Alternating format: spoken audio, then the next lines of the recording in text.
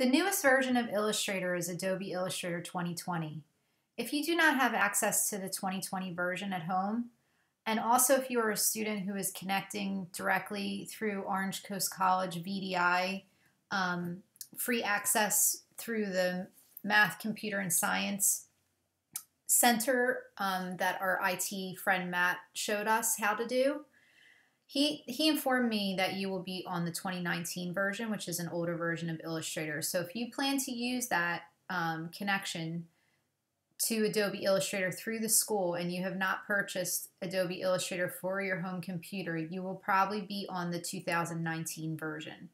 So if you are, and any anything that you've done in my class will be on the 2020 version, unless I've had you save it otherwise.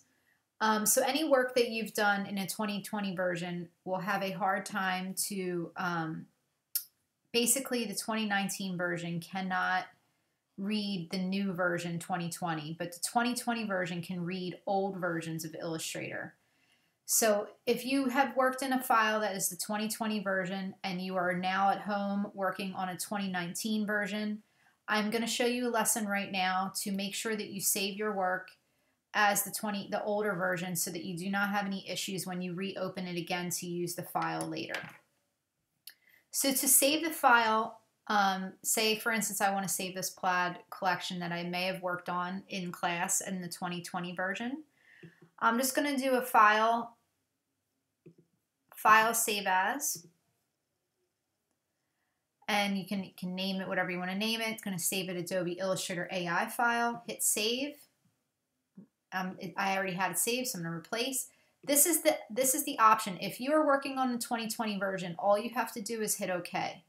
If you are working on an older version, um, then you have to do one more step. You under the word version, there's a little arrow. You have to click down to Illustrator CC Legacy, and that will allow you to go one older version down from 2020, which is 2019. I don't know why it says CC Legacy instead of 19, but that's what it says. And as long as you save your files, that way you will be able to access them on an older version of Illustrator.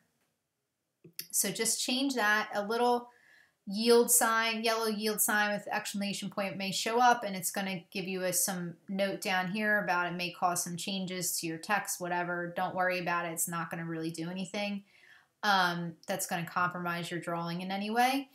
So all you have to do is just click there, 2000 like Illustrator CC Legacy, and then just hit the word OK. And once you do that, after you hit the word OK, then you will have a file that is saved in an older version of Illustrator for you to be able to use if you are working in an older version of Illustrator, older than 2020.